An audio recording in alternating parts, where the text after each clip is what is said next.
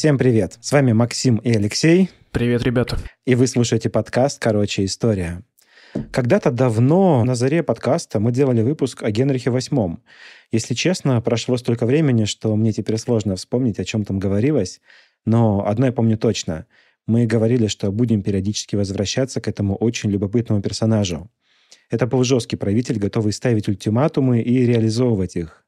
Обычно говорят, что короля делает свита – но в случае с Генрихом VIII верно и обратное. Король и сам делал свою свиту.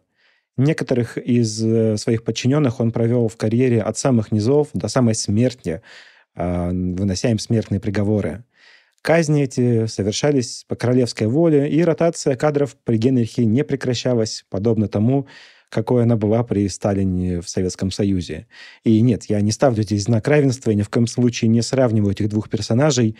Просто провожу параллели между двумя историческими процессами для большей ясности.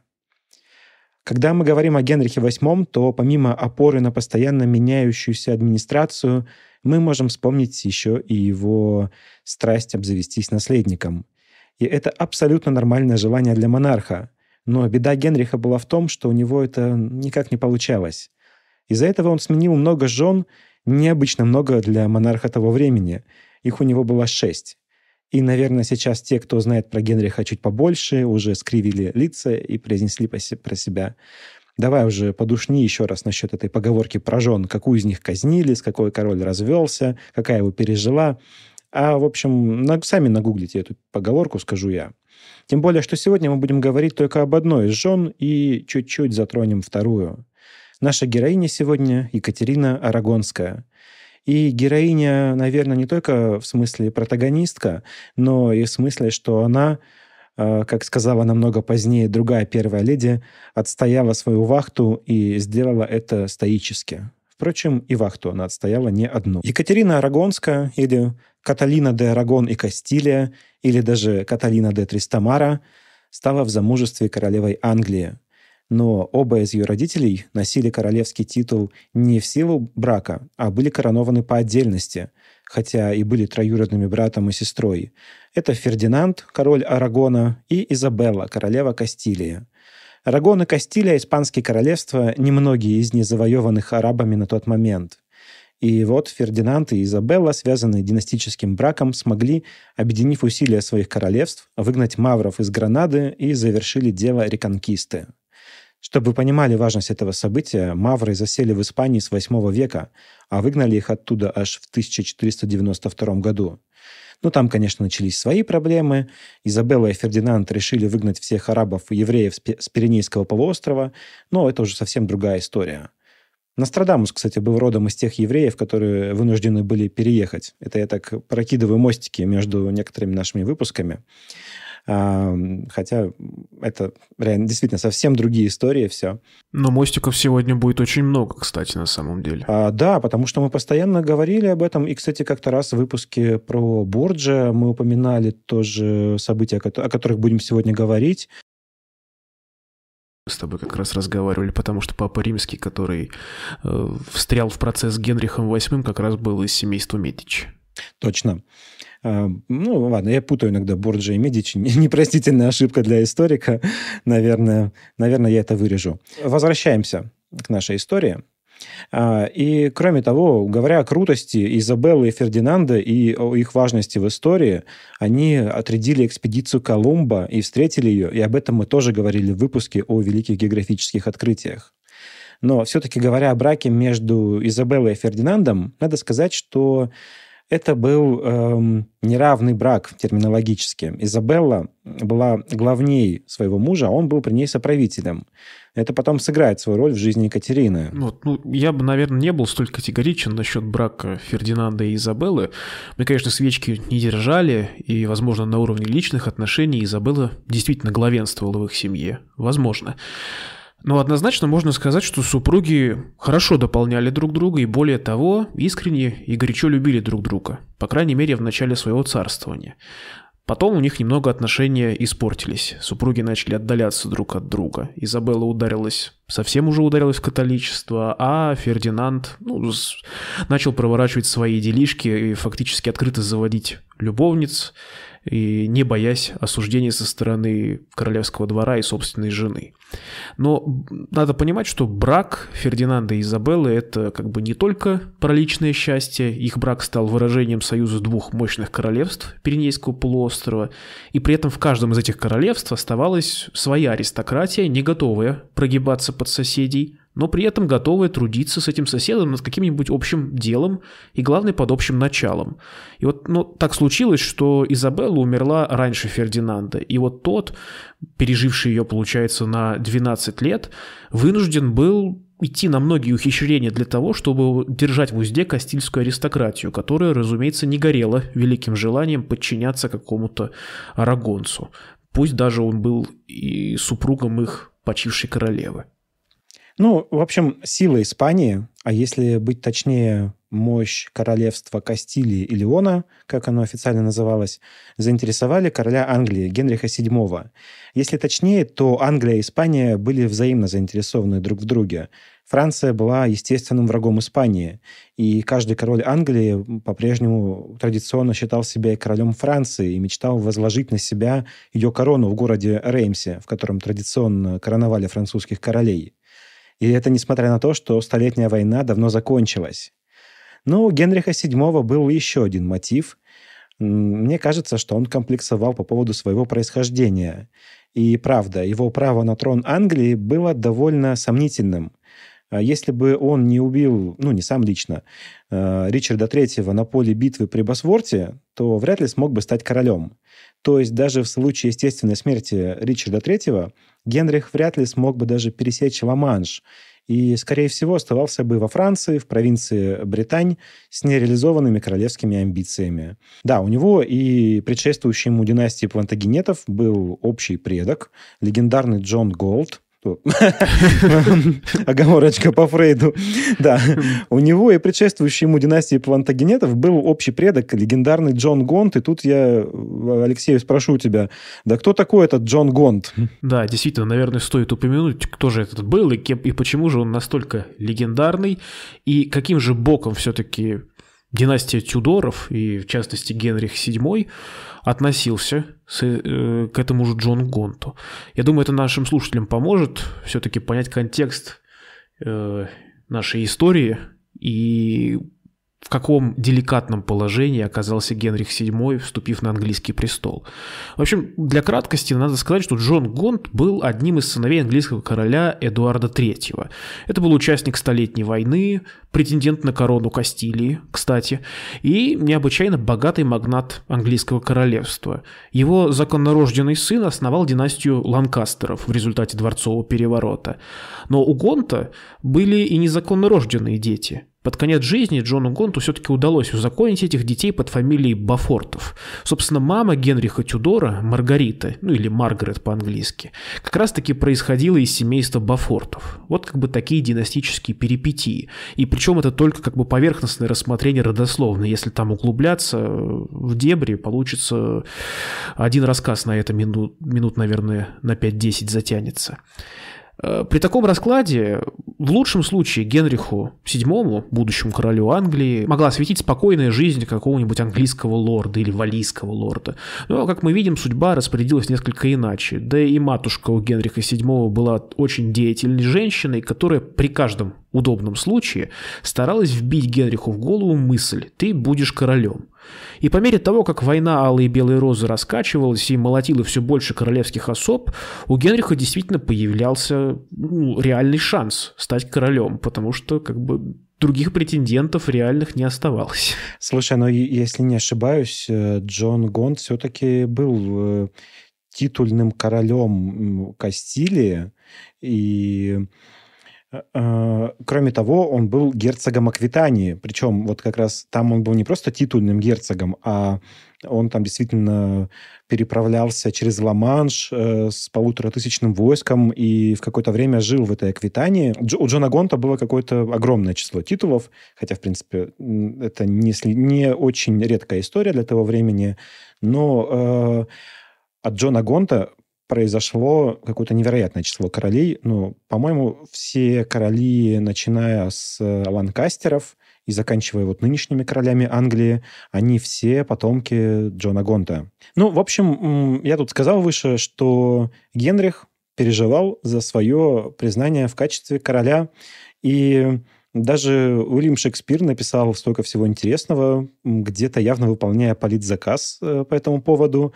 Э, например, пьеса «Ричард III» полна неприкрытой ненависти к главному герою. Сам Ричард III там говорит о том, какой он мерзкий э, тип, сам рассказывает о том, что он злодей.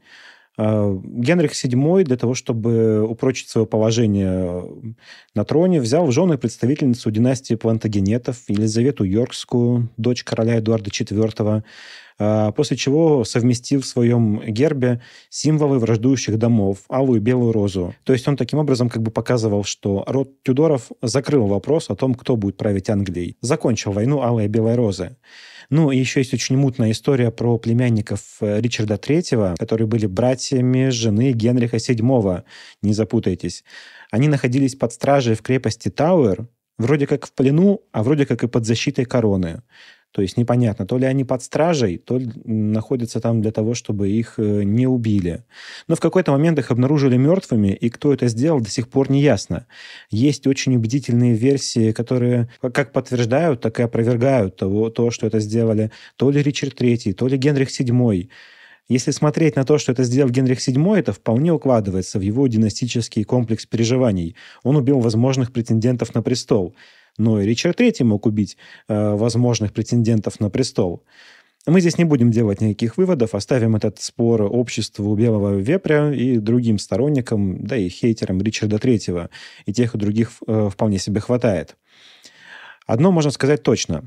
Генрих VII сильно переживал за признание его в качестве короля. И родство с одной из самых могущественных семей Европы точно должно было сделать его притязание прочнее. Тем более в предках Екатерины Арагонской тоже числился Джон Гонд. Вообще, можно осторожно так сказать, что Екатерина Арагонская сама имела на английский престол больше прав, чем ее свекор. Ну да, надо с этим быть очень осторожным. В принципе, переживания Генриха по поводу законности его пребывания на английском престоле не были такими уж прям надуманными. Ну, во-первых, потому что как бы он получил престол по праву победителя. До него фактически таким правом воспользовался, ну, наверное, Вильгельм Завоеватель в 1066 году. Да, у Генриха VII было кое-какое происхождение, но решающую роль сыграла именно победа при Босворте и гибель Ричарда III. То есть образовался вот такой как бы прецедент, демонстрирующий, что благородный человек с определенной родословной может захватить корону силой. А в такой ситуации, как бы мы понимаем, обиж... Э, желающие обязательно найдутся. К тому же у партии Йорков, несмотря на завершение войны и Белой Розы, все еще оставались наследники, которые не считали брак нового короля с Елизаветой Йоркской ну, чем-то таким основательным и вполне могли поднять мятеж. С одним племянником Ричарда III, например, пришлось открыто воевать спустя всего лишь два года после воцарения Генриха VII. Другого племянника Ричарда III, несмотря на малолетний возраст, пришлось прятать в тюрьме, а спустя десятилетия вовсе казнить. К более-менее достойным претендентам на английский престол добавлялись и вообще сомнительные личности, эдакие ну, лжедмитрии британского разлива. Благо таинственных смертей королевских особ в те времена хватало. Вот, например, некто Перкин Уорбек выдавал себя за Ричарда Шрусбери, того самого, одного из тех самых принцев Йорков, которые были заключены в Тауэре. Он говорил, что чудом спасся из плена Ричарда III. И все бы ничего, но вот этот господин Уорбек оказался настолько убедительным в своих рассказах и настолько похожим на того самого принца, что даже правители Бургундии и Шотландии решили оказать ему помощь с вошествием на престол. Отчасти и поэтому, как бы Генрих VII, Тюдор, искал союзы с сильными и влиятельными монархами Европы, которые могли бы признать его и, можно сказать, юридически узаконить бы его династию на английском престоле, уравновесить его притязания. Э, при желании жизнь Генриха Тюдора можно вообще свести к постоянной борьбе за корону. Причем, кстати, надо отдать ему должное, что Генрих действовал не только мечом, но и словом, идеями. Он очень хорошо понимал, что такое public relations, э, Достаточно сказать, что, например, своего первенца он назвал не каким-нибудь там традиционным для английских королей именем Генрих, Ричард или Эдуард. Нет, он его называет Артуром. В честь как бы того самого короля Артура, защитника Британии. И новому защитнику Британии, ее объединителю, нужна была достойная супруга. Это правда, на самом деле бросается в глаза э, имя Артур. Если вы посмотрите на э, имена английских королей, это вот очень сильно выбивается из серии «Найди лишнее». А, в общем-то, каждая инфанта, то есть принцесса Испании, которая родилась в браке между Изабеллой и Фердинандом, подлежала на выданье кому-то из знатных семей Европы. Судьба же Екатерины была решена, когда ей было всего три года. Она была обещана Артуру, сыну Генриха VII. А, поэтому она получила хорошее образование, но с языками была проблемка. Она умела говорить на древнегреческом, на латыни. Ну, это были мертвые языки, но все-таки выдавали в ней хорошее образование. А вот английский она начала учить уже ближе к переезду. Поэтому даже оказавшись в Англии, она говорила с местными с сильным испанским акцентом. Впрочем, как отмечали англичане, это звучало очень мило. Когда Екатерине было 14 лет, она вступила в брак с принцем Артуром. И, ну, как вступила в брак? Эта процедура называлась брак по доверенности, proxy marriage неминуемое следствие династических браков, потому что друг другу так не наездишься для заключения этих процедур. А вот как-то нужно было это все решать. И во время этой процедуры требовалось присутствие только одного из супругов и присутствие представителя другого. Я не знаю, как именно происходила процедура брака между Екатериной и Артуром, но вот когда Маргарет Тюдор, дочь Генриха VII, выдавали замуж по доверенности за шотландского короля Джеймса IV, которого в российской историографии традиционно зовут Яковом IV, то Маргарет уложили в постель с представителем Джеймса, одетыми, разумеется, и перевязали им ноги ленточкой. Соседние ноги, не все четыре. Разумеется, ни о какой консумации по доверенности речи не могло идти. О том, что такое консумация, мы еще поговорим. Итак, долго ли, коротко, но Екатерина прибывает в Англию морем, окруженная многочисленной свитой. Это и служанки, и фрейлины, которые рассчитывали на то, чтобы найти мужей среди английской знати, и некоторые таки нашли потом. И священнослужители, и дипломаты там были – Екатерина высаживается в Плимуте, вроде как из-за непогоды, хотя по плану должна была высадиться в Саутгемптоне, где Екатерину ждала делегация встречающих. Но это не повлияло на репутацию Екатерины, и встретили ее радушно. Разумеется, у всех был расчет на ее плодовитость, на то, что она принесет Англии наследника, и не одного, а еще и про запас – и тут надо сказать, что уже позднее Екатерина выберет себе в качестве личной эмблемы значок граната, который символизировал гранаду, которую ее родители отвоевали у арабов. Но в Англии гранат был еще и символом плодовитости. Довольно быстро после прибытия сыграли уже настоящую свадьбу с присутствием обоих супругов. После церемонии Артура и Екатерину проводили до спальни, раздев до постельного белья. Для Екатерины, наверное, это было очень непривычно. Э, в Испании так не было принято. Может, помните сцену из «Игры престолов», э, где перед красной свадьбой, еще до того, как началась резня, жениха с невестой носят в кровать, но их там еще и раздевают до гола. А, вот для Екатерины это выглядело примерно так же странно. Безупречно воспитанная испанская принцесса, вероятно, считала это, вот это все какими-то островными варварскими обычаями. Тем не менее, это имело смысл. Все-таки браки между королевскими семьями заключались в основном ради общего потомства, и надо было убедиться, что новобрачные приступили к достижению этой цели. А, более того, брак считался заключенным только после исполнения сторонами брака супружеского долга. Без этого брака, считай, не было. Э, мы не знаем точно, что было в брачную ночь Екатерины и Артура, как и в их последующие ночи. Об этом позже. Но после брака новобрачные уехали жить в замок Ладлоу, где и полагалось жить принцу Уэльскому. Но то ли место было выбрано не самое удачное, такое холодное, промозглое, то ли принц Артур был нездоров к этому моменту. В общем, спустя несколько месяцев Артур умер. Вышло так, что они заболели вместе с Екатериной, и мы не знаем чем. Возможно, это был грипп, возможно, туберкулез – на самом деле это вообще могла быть какая-нибудь болезнь, которая уже не существует. Например, в то время была распространена потница, про которую мы тоже не знаем, что это было такое. А, в общем, как-то так вышло, что Екатерина переболела, а Артур тоже переболел, но неудачно. Есть, кстати, еще более пикантная версия того, от чего умер Артур. А, Артур простите. По некоторым данным, Артур все-таки не был настолько уж болезненным юношей, он был развит физически, интеллектуально, но вот во время брака с Екатериной он стал понемногу хворать.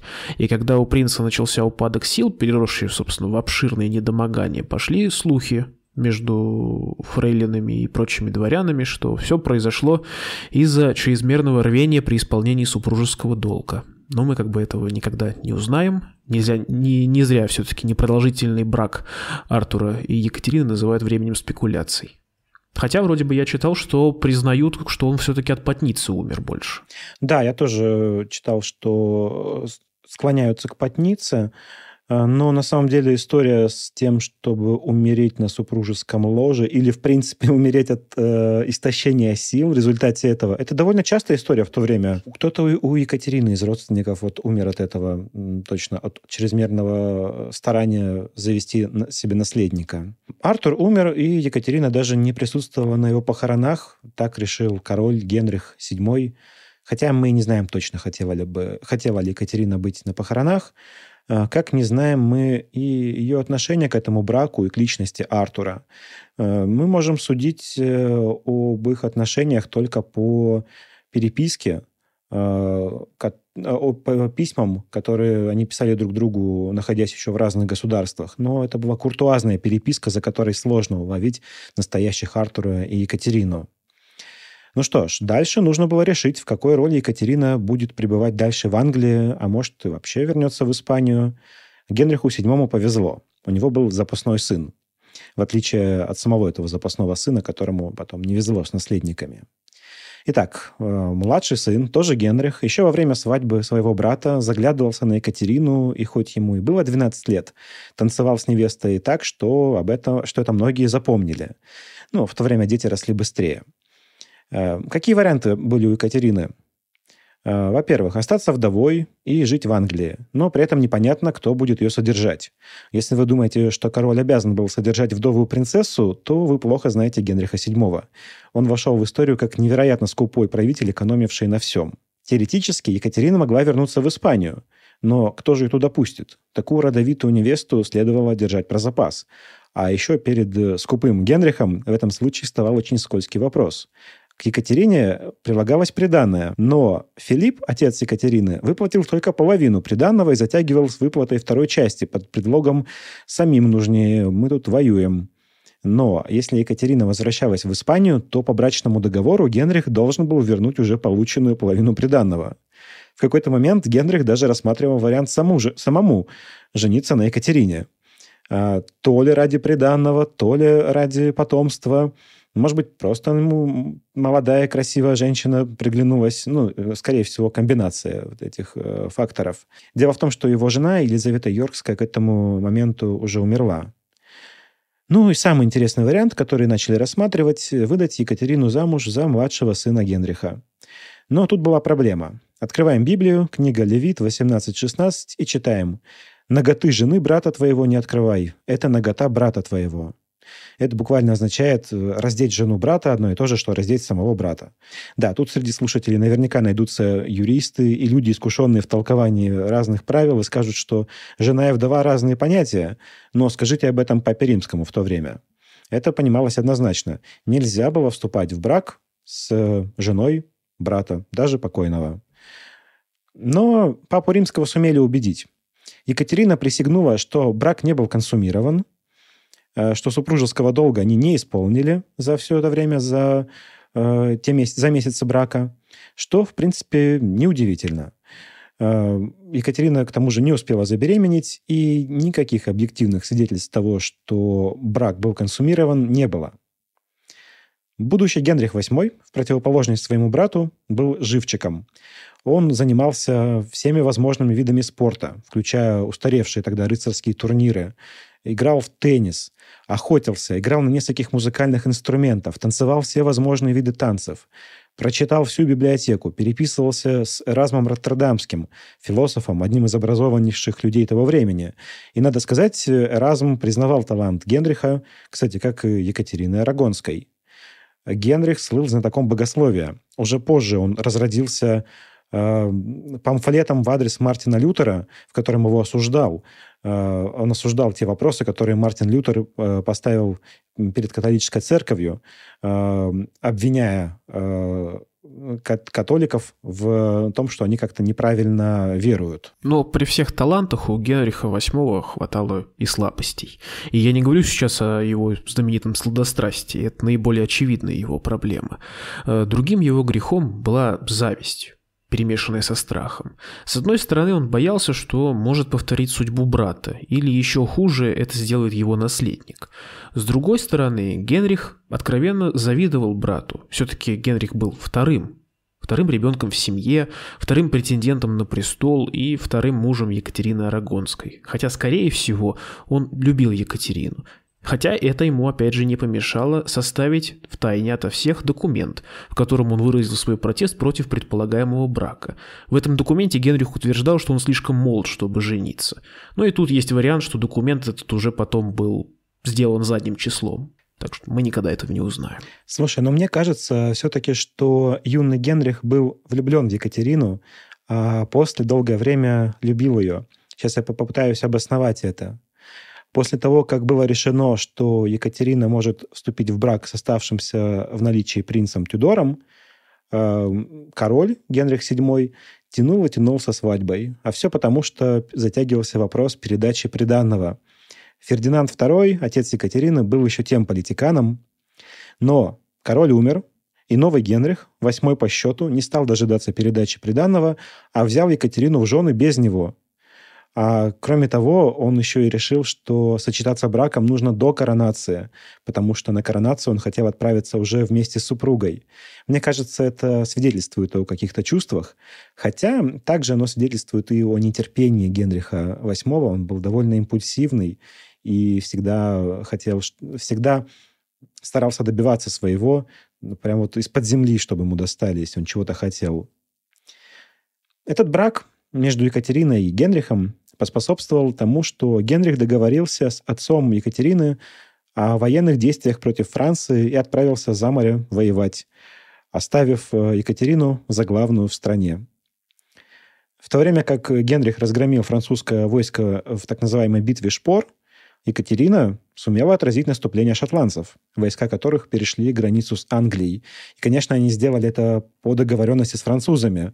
Пока э, король воевал во Франции шотландцы решили э, открыть второй фронт, так скажем. Э, Томас Говард, командующий английскими войсками, сумел победить шотландцев в битве при Флоддене, и в этой битве был убит шотландский король. Екатерина поручила забальзамировать его тело, чтобы показать мужу, когда тот вернется, а почтой отправила во Францию подарочек – окровавленную рубашку короля Джеймса IV. В общем, такой вот конфетно-букетный период, сплошная милота – сюрпризы, подарки.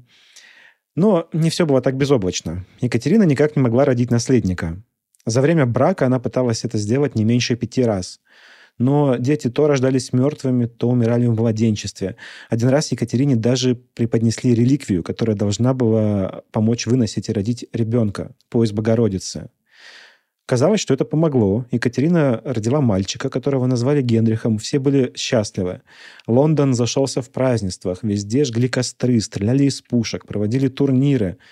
Но через два месяца принц Генрих умер. Интересно, что еще раньше пояс Богородицы носила мать Генриха VIII, Елизавета Йоркская.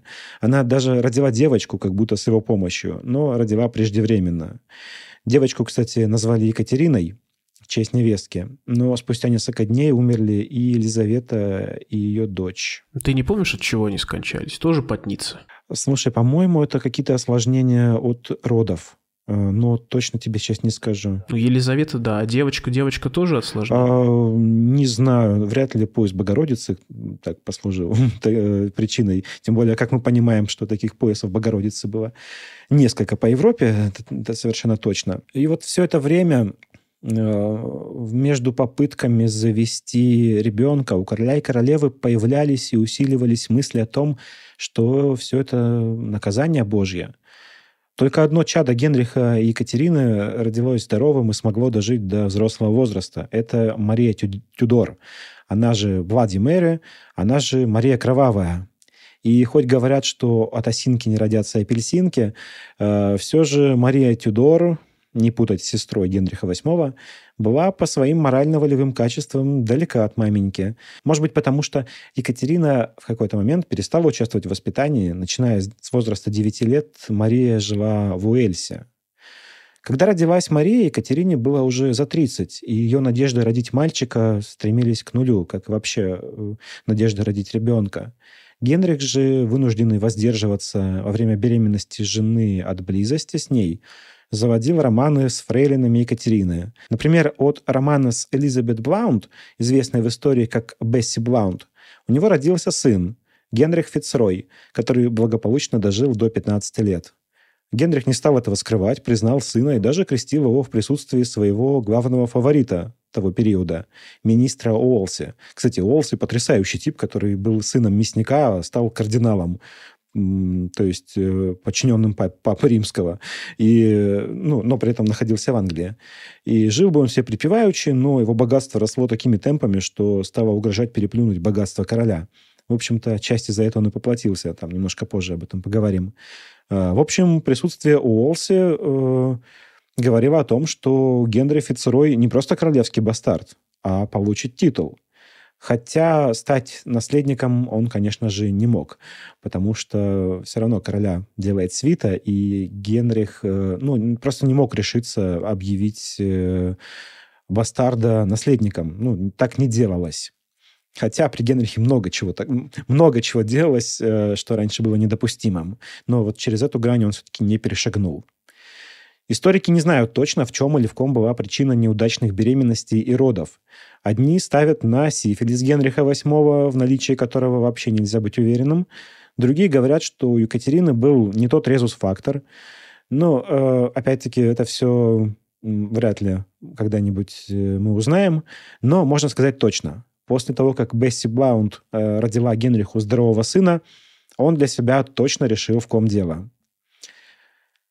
он увидел, что другие женщины вполне способны рожать ему сыновей. В 1523 году Екатерине было 37 лет.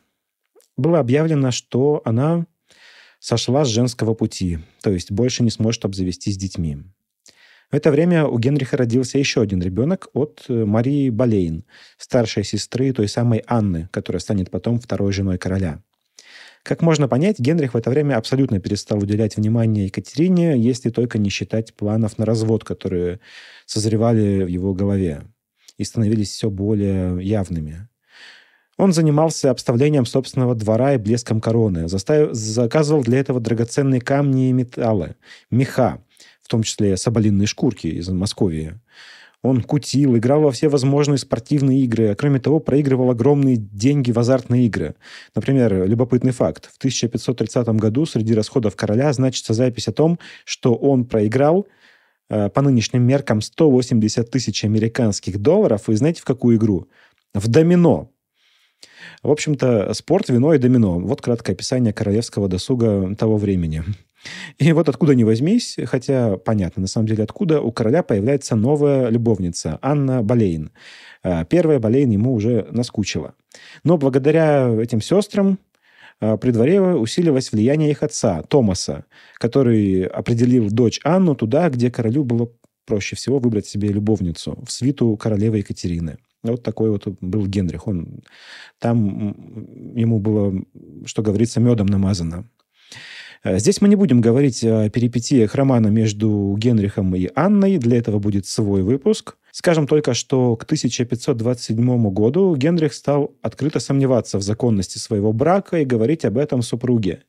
И хотя Екатерина попыталась после этого э, как-то все-таки снова привлечь внимание мужа за счет своего стиля и резко увеличила расходы на одежду против Анны Болейн, у нее не было ни единого шанса.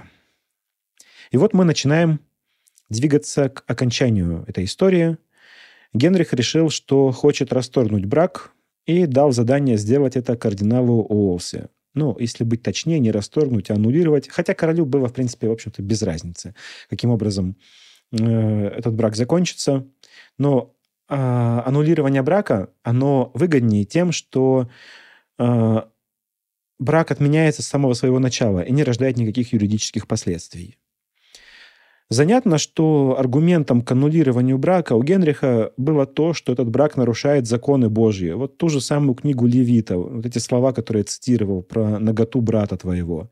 И Генриху было плевать на то, что Папа Римский уже давно разобрал эти аргументы, как и на то, что от брака у него имелась дочь, которая, забегая вперед, несмотря ни на что, станет королевой Англии. Генриху настолько нужен был этот развод, что он даже не обращал внимания на тот факт, что племянник королевы, Карл V, э, был самым влиятельным монархом Европы, а Папа Римский был у него под контролем. Если ты позволишь, я немного дополню твой рассказ. Информация о королевских браках и разводах. Тема эта достаточно сложная, и почти каждый случай можно рассматривать как своего рода прецедент.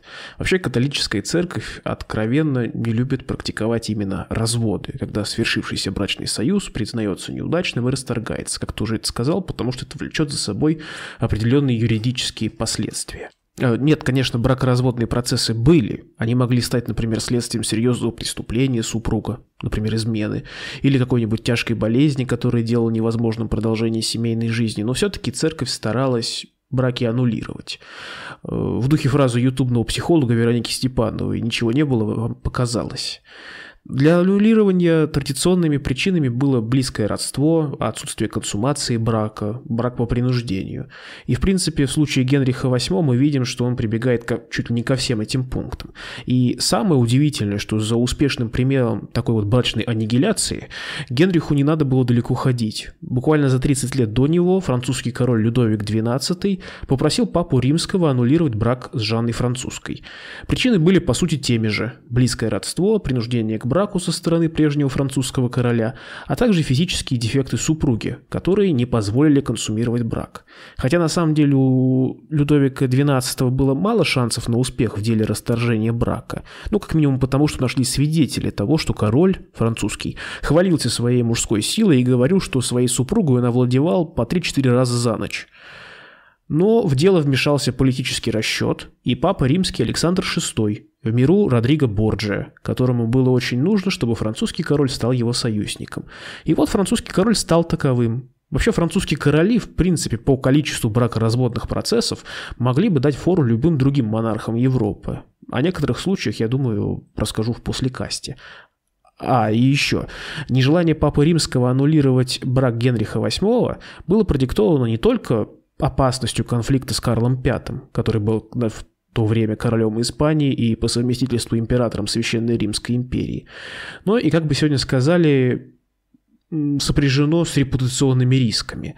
Дело в том, что римские папы старались откреститься от всего, что связано с деяниями порочного папы Борджия, на счету которого был не только развод французского короля, но и развод собственной дочери Лукреции. Ну, там не развод, конечно, был, извините, а аннулирование брака Лукреции по причине того, что ее муж якобы оказался импотентом и не мог консумировать брак. И вот папы римские как бы не хотели себя соотносить э, с Родриго Борджия, потому что, ну, как-то это было совсем уже не камильфо для них. Но возвращаемся к разводу Генриха VIII. Он поручил э, обстряпать развод своему главному фавориту Уолси. Э, Уолси, напоминаю, был папским кардиналом, и он оказался между двух огней. С одной стороны Генрих VIII, с другой стороны папа, с которой и ему не хотелось ругаться ни с тем, ни с другим. В общем, у него ничего не вышло. Отчасти поэтому, отчасти за счет своих неумеренных аппетитов, он был отстранен от власти, а его место занял его ученик и протеже Томас Кромвель. Э, невероятно старательный легист, э, юрист, э, государственный деятель, крючкотворец, в это время короля везде сопровождает Анна Болейн и ведет себя довольно дерзко, в полном противоречии со всеми протоколами. Например, на одном мероприятии она спокойно заявила, что видала она всех испанцев на дне морском. Екатерина в это время, наоборот, продолжает вести себя достойно. Например, она очень любит шить и постоянно шьет мужу рубашки. Анна Болейн, кстати, подглядела это и тоже попыталась э, снабжать короля рубашками, но не своего собственного производства, а заказанными. А, ну, в принципе, королю, наверное, было это уже не особо важно. Да, шьют ему рубашки, не шьют. Он был в полной уверенности, что Анна сможет э, родить ему наследника. Томас Кромвель и его напарник Томас Кранмер, там сплошные Томасы, кстати, э, придумывают решение, которое принесет много последствий. Они подсказывают королю, что надо обойти власть папы и самому стать не только светским, но и духовным правителем на территории Англии и выйти из-под власти папы. И теперь мне остается только привести хронологию окончания этого брака, как и жизненного пути Екатерины Арагонской. В 1529 году начался суд об аннулировании брака между Екатериной и Генрихом. А уже в январе 1533 года король обвенчался с Анной Болейн, не дожидаясь результата суда – и может показаться, что э, вот этот брак э, в момент, когда король еще не разведен, э, это противоречие, это, это неправильно, это незаконно. Но суд о разводе завершился в мае 1533 года решением о том, что Генрих в принципе не мог взять в жену, Екатери... в жену Екатерину. Э, и что этот брак был недействительным с самого начала, потому что, как решил этот суд, брак между Екатериной и Артуром был консумирован. Э, несмотря на все вот эти э, заверения об обратном. То есть выходит, что на момент заключения брака юридически, вот согласно решению английского суда, король ну, как бы не состоял в браке с Екатериной из-за недействительности этого брака. Если смотреть строго юридически и формально, решение, последующее решение суда сделало вот этот вот брак законным. А в 1534 году был принят акт of supremacy, акт о верховенстве. Мне, кстати, очень нравится, как его переводят по-всякому. А, акт о супрематии. Э, как тебе такое? Ну, здесь все зависит от того, какую цель преследует переводчик. Ну да, если пытается сохранить э, дух э, языка, Э, дух времени, может быть, акт о супрематии и уместно, но все-таки для того, чтобы изложить смысл, наверное, можно это э, акт о превосходстве или акт о верховенстве. Мне кажется, так будет правильней.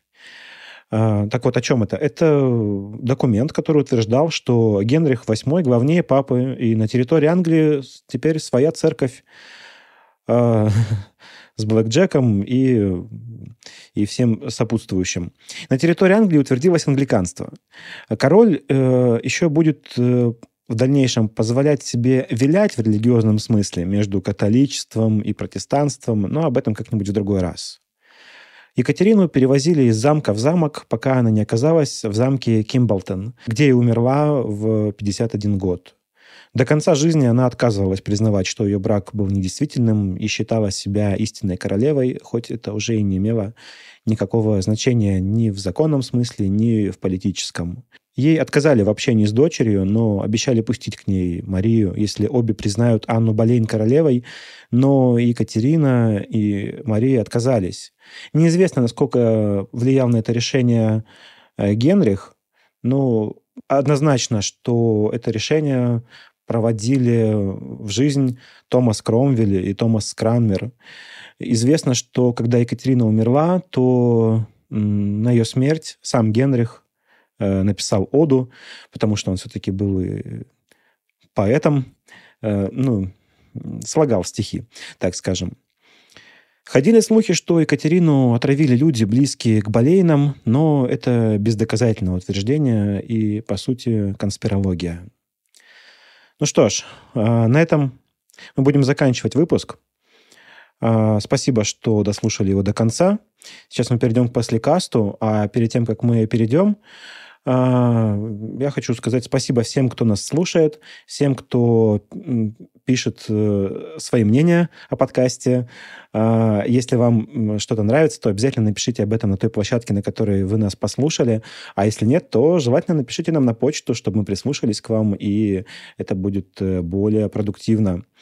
А если вы хотите поблагодарить нас э, или как-то поддержать материально, то у нас есть Boosty, мы есть на площадке спонсор, туда мы выкладываем расширенные версии выпусков, мы, там у нас есть ранний доступ, а также мы выкладываем и будем выкладывать э, эксклюзивные выпуски. Пока их немного, но мы будем их делать. И еще хотел дополнить, мы сейчас обсуждаем э, возможность выступить э, вживую в Москве этим летом 2022 года.